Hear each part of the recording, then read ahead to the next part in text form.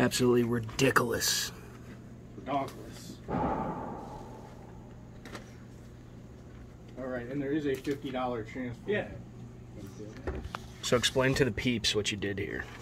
Um, so I have my Ruger Mark III 2245. Yeah. I put the whole Booligan Custom Gunworks uh, chassis system on there to attach the brace.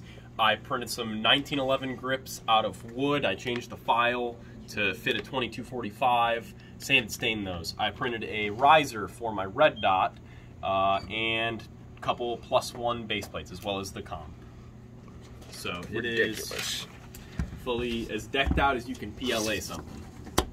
Well, Except angle the- foregrip coming soon, right? Angle foregrips printed, I just didn't put it on. And then this is actually Nylon X, carbon fiber reinforced nylon. So, and that comp's got like a thousand rounds through it, if not a little bit more by now. Because I've had that on there basically since I got the gun. It's pretty sick. Pretty sick. So this gives you what, 11, 12? Yeah, just 11. Um, but it's reliable so far, Yeah. which is pretty nice. pretty clean. I also swapped out last night, I just got it in the mail, my TandemKross hammer bushing, which deletes the magazine disconnect safety, which makes it so that these Mamba Jammas just soar out of there. Um, also, theoretically, it's supposed to increase reliability because it doesn't push on the magazine um, and change the feed angle, but who knows.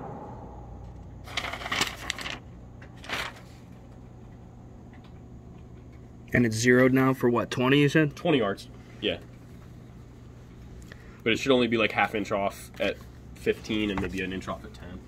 Well, with you behind the gun, there's no telling. Yeah, because I'm super accurate, so I might make it hit everywhere you're right. Kev, final in the form, all good. It's pretty nifty.